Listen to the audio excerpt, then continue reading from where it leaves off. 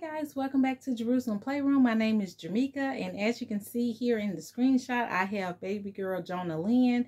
She is wearing this outfit that I thrifted. Um, it is a size 12 months, and when I saw the shirt, I was going to get it and match it with some jeans but then when I looked around I saw the little pants that went with it. So I put this on her. Didn't get a chance to put a hair bow in her head because she's actually just laying on one of my uh, on my guest bed. So I just wanted to show you guys this outfit that I have for her and I have some other items too that I want to show you. So today I went to um, uh, one of my local thrift stores and I actually went to several. I was looking for some stuff for myself, which I did uh, purchase uh, for me. But I also was looking in the blanket section. So I did find two crochet blankets and one regular. So I'm going to show you the uh, regular first. This one here is just a little kind of lightweight fleece. Not even fleece, just a, a lightweight little white blanket that can be perfect um, for the winter months or even the fall. Um, this right here, me personally, you can probably put it over if your baby's going like into a movie theater or somewhere where it's cold or like in the grocery store. But just like out in the car where the weather's warm, I wouldn't suggest something uh, this thick for your baby. But anyway, um, I got that. Then I got this one here. When I saw the little colors in it, all the colors, I was like, this is just perfect for a gender neutral um, theme or it can be, you know, gender neutral type of blanket and it has all the colors, the yellow, the blue, the green, and the pink. I think it has, excuse me, mm, it has white in here also. So when I saw it, I immediately put this in my cart. And while I was there, um, I got to talking with another customer and we were just talking about the creativity of these um, people who make um, things like this. And I just told her I really believe that they're heirlooms and they shouldn't be given away. But again, if, you know, to give another baby a chance to enjoy something like this or another mother or father, I just think it's great. So I got that one. And then this one is kind of big. It's almost big enough to fit a toddler size bed. Or you can wrap it at the end of a twin bed. Or you can put it on a um queen or king size bed. Um, I thought the colors in here was uh, really unique. Also, um, the pink, the green, the um, blue, and the yellow. So, um, again, this is a gender um, neutral blanket in, in my opinion. And so I did wash them. And this time when I washed them, I put them on cold and I uh, put them on a light, uh, kind of like fluff dry because I had one and I messed it up. And I was like, oh my goodness, but I got it back. Uh, I got, I was able to get the yarn to kind of shrink again because I don't know what type of yarn is used for it. So I just put it on a cold wash and a light fluff on the dryer. Um, I didn't get that many outfits. I did see this one um with the little ladybug pattern on there and I thought it was really cute and unique and I'm going to put baby girl um Genova in this. Then I saw these outfits here. I saw um two of these little short shirts in zero no, it's uh, one to three months, but it's from Shein. So I got both of these. One's green and one's navy blue. And then they came with the pants, the little shorts, I'm sorry.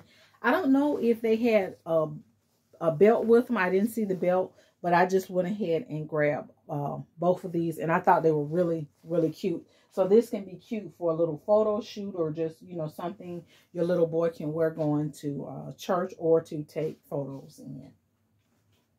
I um, saw this and I went ahead and got it because I wanted to do a little cute little um, theme basket for a little girl. So this, um, anytime I find some good looking mini stuff, I get it. So I got these to match up with these little um, uh, pants here. So this would be something for the fall. Then I saw this, guys, and when I got it, it was just worth it. It still has the tag on there. So anytime if I find the tag on an item, I just immediately get it because um, this is something that I can give as a uh, gift to someone. Um, it'd be great for the fall or the winter month. So this is something that I would consider if you do have a baby in the cold month, a little boy, um, he can come home wearing something like this. And then even if it's uh, gender neutral, uh, if if the mom, the parents, they want to keep their the sex of the baby a secret until the baby's born, and it's a girl, you can always add a, a blue uh, bow. You can add any color bow to go with that um, olive green. So I thought it was really cute. Um, and speaking of olive green, I saw this cute little Grogu Star Wars shirt, and I when I see them, I just get them. Um, because these right here, these sweatshirts you can put with jeans on there. This can be like something you can put in a diaper bag as an extra outfit. Um, a change of shirt, something like that. So when I see stuff like this, I just automatically get it.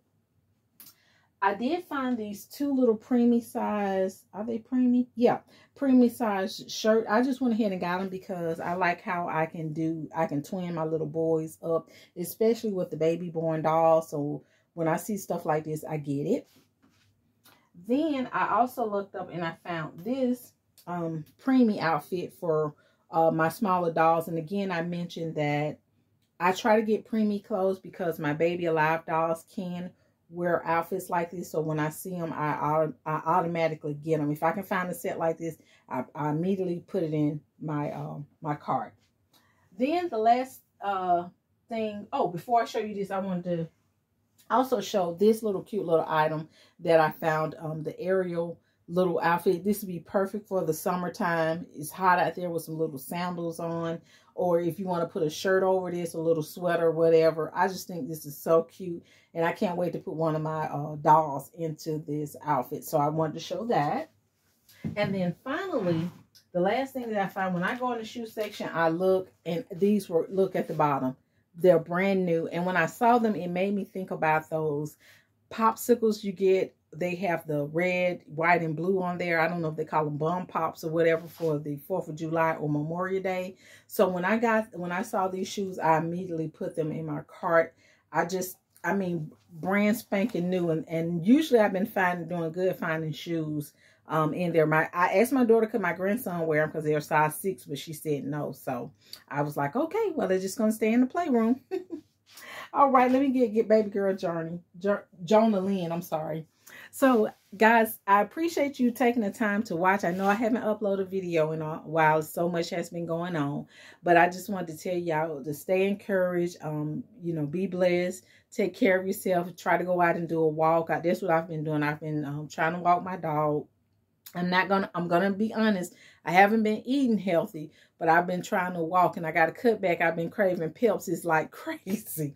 So I got to cut back on um, my caffeine um, intake and start drinking, you know, like water and come back on that caffeine and that sugar. Oh my goodness, that's my weakness. Caffeine and sugar, coffee and sugar. Oh, so anyway, you take care of yourselves. And guys, y'all stay tuned because you never know what's going to be in the playroom. All right, y'all take care. Bye.